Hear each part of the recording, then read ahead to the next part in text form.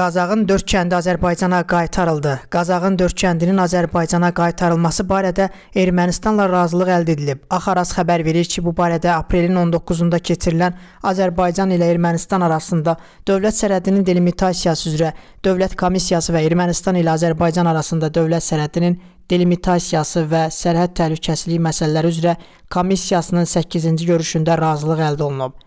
Belə ki, delimitasiya prosesinin ilkin mərhələsində tərəflər sərhəd xəttinin ayrı-ayrı hissələrinin Sovet İttifaqı çərçivəsində onun süqutu dövrünə mövcud olduğu hüquqi cəhətdən əsaslandırılmış respublikalar arası sərhəddə uyğun olaraq Bağanis, yəni Bağanis ayrım, Vaskepar, yəni Aşağı Əskipara, Kirans, Xeyrimli, Berkaber və Qızılhaclı yaşayış məntəqələri arasında bilavasitə keçməsini razılaşdırıblar.